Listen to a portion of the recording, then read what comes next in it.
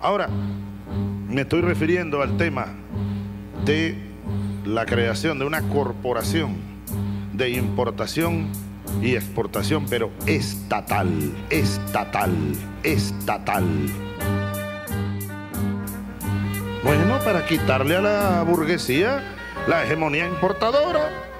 Nosotros parecemos pendejos, pendejos, dándole los dólares a la burguesía, a la pequeña burguesía, a la pequeña burguesía, y ellos importan, subfacturan, sobre, sobre, sobrefacturan, compran en el exterior que cualquier cosa que valga un dólar y vienen acá y lo venden por 5 dólares y el equivalente en bolívares. Y además piden más de lo que realmente cuesta